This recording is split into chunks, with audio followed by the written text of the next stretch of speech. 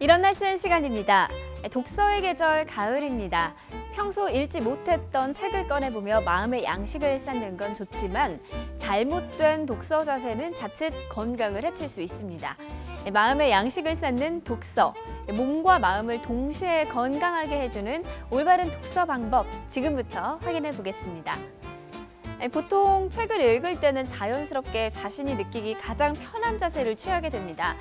의자에 앉을 때 습관적으로 다리를 꼬는 분들이 많은데요. 이 자세를 오랜 시간 유지할 경우 양쪽 넓적다리의 높이가 달라져 골반이 비뚤어질 수 있다고 합니다. 또 다리를 꼰 상태에서 허리까지 구부리고 독서를 하게 된다면 척추에도 무리를 주게 되는데요. 이로 인해 척추가 C자나 S자로 휘는 척추 측만증이나 허리 디스크 등이 발병할 수 있다고 하네요. 목을 앞으로 쭉 내밀거나 구부정한 자세도 좋지 않습니다.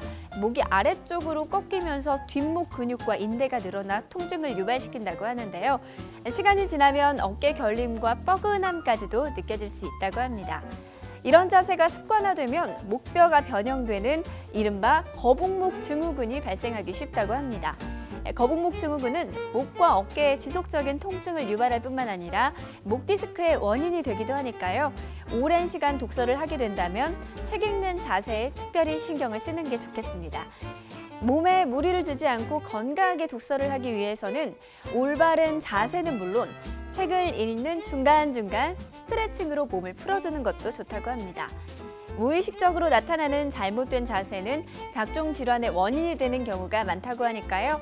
올가을 좋은 책 한 권 읽으면서 잘못된 독서 자세도 한번 확인해 보는 게 좋겠습니다. 지금까지 이런 날씨엔이었습니다.